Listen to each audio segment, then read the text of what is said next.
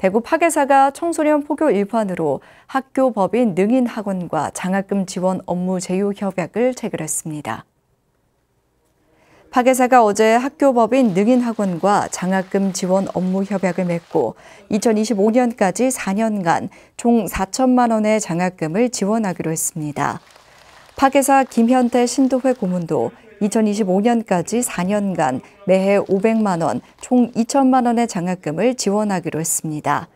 느긴학원 이사장 법광 스님은 어려운 시기에 청소년 포교를 위해 힘써 주신 파괴사에 감사를 전하며 인재불사에 매진해 대한민국의 큰 일꾼으로 부처님 불제자로 성장하는 초석을 다지겠다고 전했습니다.